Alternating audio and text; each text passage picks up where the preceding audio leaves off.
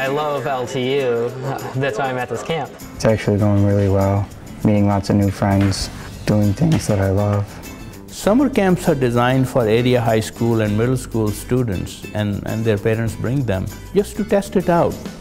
Do you want to go to engineering or architecture, biology or computer science, information technology? These are very sought after professions. I'm at the Game Art Camp, and what it is is um, learning basic um, things about like Unity and Autodesk 3ds Max, and basically all the programs that professional game developers use. We're going to be working with a little bit of programming and like by the end of the week we're going to be able to make our own like basic uh, mini game and stuff like that. Being a part of engineering, you need to be innovative, and stepping out of my comfort zone is something I like to do a lot. So this camp seemed perfect for me. This week we've been creating tree houses, like you get to come up with your own design. We had to make floor plans, elevations and stuff like that.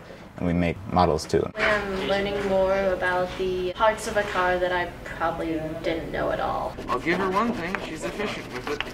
We do experiments with all kinds of microorganisms. We do a lot of work with bacteria and on DNA. We're learning about cloning cells. We're learning about how to genetically engineer cells to make them glow in the dark. Industrial design allows you to think more outside the box and think of better designs for products and constantly make them better than it previously was. I started taking the CAD program in freshman year. I've been taking it every year. We do engineering drawings and it's really fun.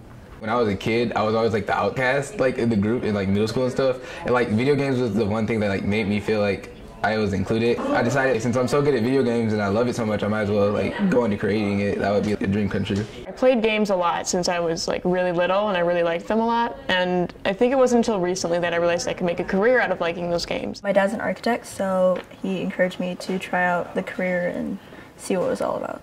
Now some students don't really know where is their niche.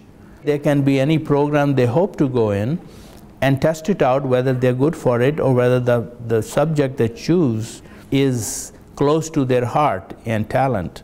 The project is to design a new Ford GT and right now we're just, you know, warming up, sketching just any car. I decided to make kind of like a man cave in the tree, so it's kind of just a chill place to go for like the day or two. Throughout the week, I want to bounce ideas off of other people, just to become a better artist and thinker. Yeah, I think it'll make like my love for gaming even deeper, and it'll like put me on the path even stronger to become a video game designer. It's allowed me to think what I enjoy about it and think, could I do this in 10, 20 years?